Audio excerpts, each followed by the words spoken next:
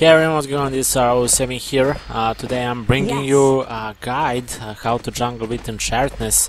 Uh, it's gonna be a greedy build, so we're gonna start immediately and go for Hand of Midas. Uh, we will bind Gloves of Haste and basically nothing more. Uh, ability which you will need to use is Enchant, is the second one. And that one actually gives you opportunity to get a creep from jungle under your control, which could be really and will be actually really helpful in this guide. Now, otherwise you can use that on enemy heroes, and it's gonna slow them um, exactly on first level 20% and on fourth level 50%. Uh, yeah, end, duration is actually 80 seconds for creeps, and slow duration is 5.5 seconds.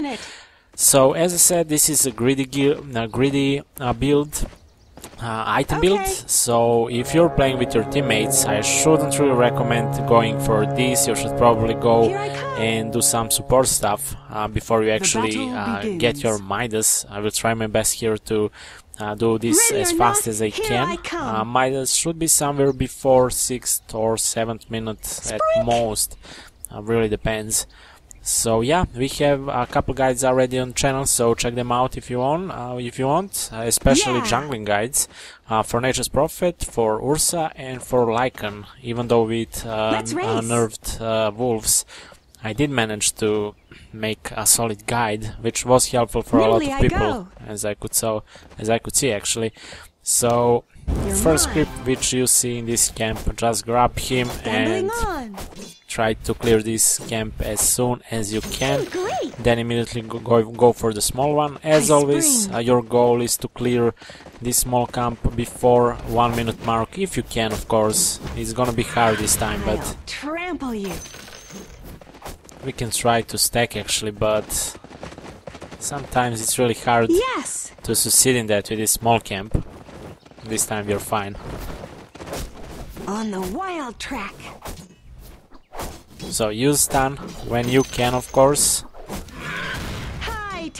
It's gonna buy you some time to clear this camp as well with this creep. Mana shouldn't be really a problem, but could be. After all, you never know. Uh, camps are completely random, so you can't always Uh be safe that you're gonna actually manage to clear every single camp every single time again. How enchanting. And this troll creep is probably the best. 'em. Probably is the best one for jungling. Hey, I'm a predator. You can summon those when you choose that uh, troll Sprite. creep. So it's really helpful. We will have that camp spawned again, so it's gonna be With skipping grace. really helpful. Skip ahead. Let's go immediately. Now we can actually summon, and we will do that. Uh, we will get that Charmed, I'm sure. that one under our control and then we will go on the other parts of this jungle Uh, later we, you will see you can actually from here get one creep and clear that camp then go here clear that camp and gain experience Yes. and that does really does improve your jungling and it's gonna be much Uh-huh. more faster don't forget to use actually those.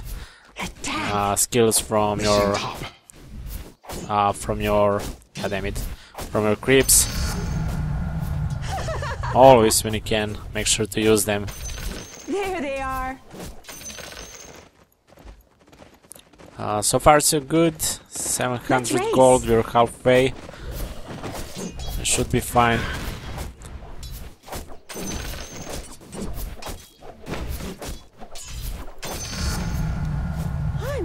You're going for first two uh, abilities actually to max them out. Untouchable is the first one, and it's passive, so even if you're a new player, you shouldn't really have some problems. Just make sure to spawn those always. Here Those small skeletons. They're really powerful, even though they're really small. This is fun. That doesn't change the fact that they're really helpful in early game while you're in jungle. As usually, make sure that one always stay alive. It's gonna be extra damage for that camp. It's a hop, skip, and a jump. Okay, 1000 gold. We are really, really close to our Midas now. Mm-hmm. Now we're gonna do this.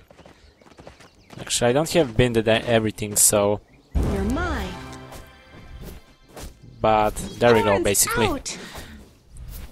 You can clear that camp without going all the way around. I'm getting better at this. As I said, that small camp shouldn't be a problem, so always use those skills. And when you that one, summon your skeletons.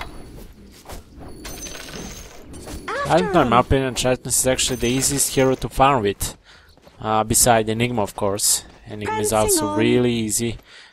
I don't really see way how how to fail Enigma in jungle. Nimbly I So go. I'm gonna get How that one as well.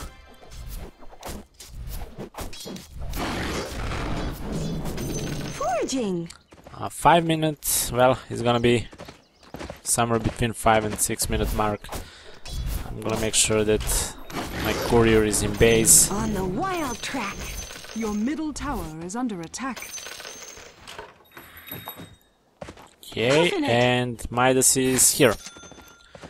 So probably next thing I'm gonna get that, that one as well. Uh, probably next item which you wanna uh, get, even if you're on public. Your middle tower Uh, don't just rush. Aghanim. Uh, I mean, you can get boots, and you need to get boots anyways. But your choice is: do you want to really go for uh, full threads or just boots, and With then uh, go for Aghanim, uh, where, when you already have stats from those threads? yeah. It's totally your choice. You can't really go wrong with that. Unfortunately, I need to check 15 seconds for yeah. and check 50 seconds for my Midas for another camp to spawn. Uh, it's definitely your choice, in my opinion. You should go for threads if you have quiet and easy uh, jungling Skip period ahead. without anyone making trouble for you.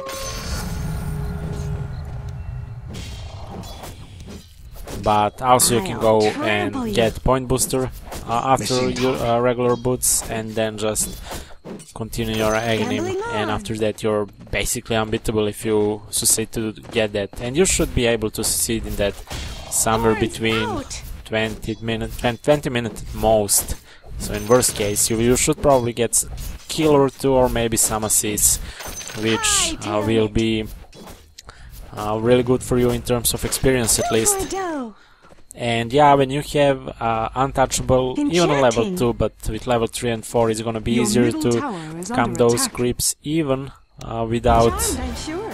even without uh, having having creeps. So that grip isn't really helpful, but since we we're kinda at the end with this guide, uh, there is nothing more which I could give you uh, tips or Yes. anything about this. This is basically everything. The hardest the hardest uh, part is already over, so you just need to repeat those things, and you should be completely fine. When you get like, um, when you get like, um, wow, don't remember name of that creep, but basically when you get couple creeps like this and one more bigger creep, uh, then you can go and push towers in bot lane if you're in your jungle, or top lane if you're in uh, dire on dire side. So Your middle tower should be attack. basically everything. There we go. I'm gonna This actually we actually are going to clear this camp as well, but uh, Midas summer about 50, fi- 5 minutes. Um now I'm even going a little bit slower than usually, Get him. but it's still fine. 50, 52 s- creeps. It's not that bad, and you Gambling don't really should. You shouldn't really watch uh, actually how many creeps you have you in jungle. Jungle creeps um, doesn't really give you gold and experience uh, as experience as much as you can get in in lane. And yeah, I didn't use Midas, so. Uh, basically you got the point. Uh, that should be everything for Enchantress. Make sure always to Mm-hmm. uh, that your that your presence actually can be felt in lane, in your safe lane, and you can help your carry to farm and push when you need to push. So yeah, basically that's is everything. There we go. I'm gonna clear one more camp, and Nimbly we have our threads as well. But that should be basically a little bit faster than now. you. Now we're kind of slow. I didn't use Madison time. I was concentrated on my explaining, even though hopefully at least I explained everything fine. But there we go. It's our threads. Uh-huh. Now you go in lane, you start pushing, and while you're doing that push Let's and race. probably getting one or two towers, doesn't even matter, you're gonna be able to get your point booster and from them it's kinda obvious and really easy to get your Aghanim. So thank you for watching guys, hopefully I did help you uh, with I Enchanted Sim spring. Jungle. If you have any questions or any suggestion about this guy, feel free to comment down below in the comment section. And yeah, thank you for watching one more time.